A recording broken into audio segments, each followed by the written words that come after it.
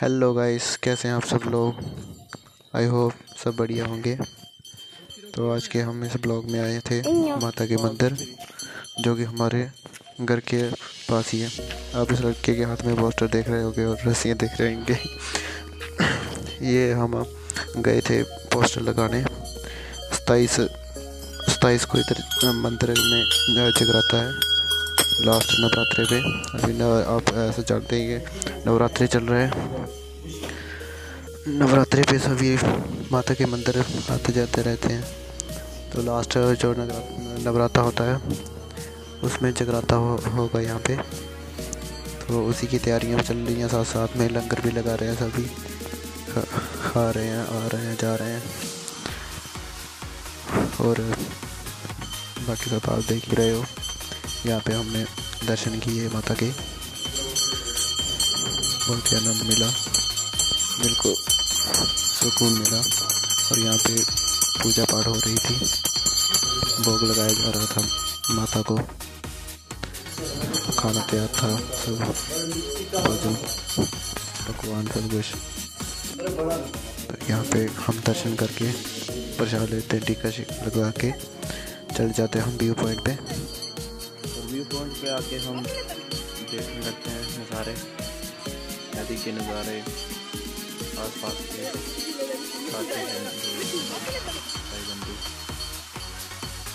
और ये जो मंदिर है, माना जाता है कि ये मंदिर जो है, बहुत ही शक्तिशाली है।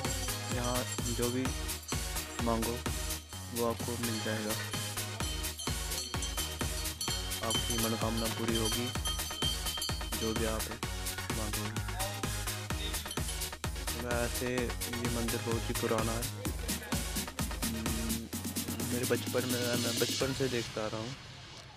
मंदिर ऐसा का ऐसा ही है। हम हर साल नवरात्रि छः महीने बाद नवरात्रे आते हैं और नवरात्रे पे यहाँ पे लंगर लगते हैं। और हम आते हैं बचपन से। ऐसा ही चला आ रहा है। नवरात्रे पे सभी बदले बारी बारी में यहाँ पे लंगर लगाते हैं। संगत, आंदिया ने।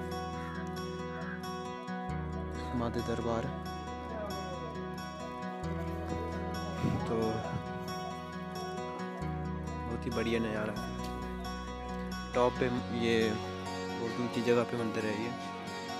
तो इसी के साथ हो गया था, भोजन तैयार हो गया था। तो हम लोगों को कहा कि हम यहाँ के केयर टेकर से मतलब काम शाम करवाते हैं।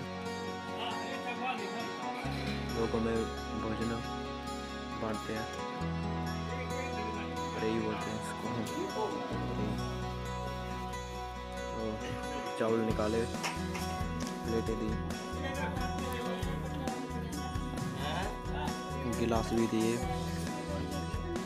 पानी दिया। इसके साथ बहुत ही खुश लग रहे हैं सभी। भोजन के इंतज़ार में भोजन आ गया। सबसे पहले प्रसाद के रूप में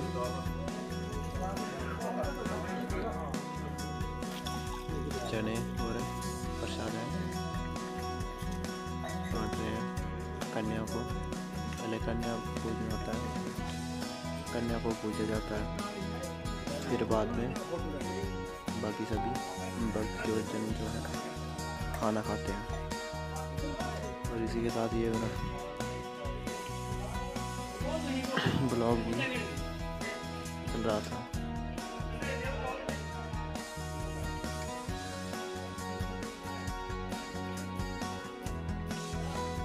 और यहाँ पे पीछे का व्यू है। यहाँ पे एक टंकी है और ये जहाँ पे चावल सब कुछ बनाया जाता है। देख रहे हो? यहाँ पे दोस्त खड़ा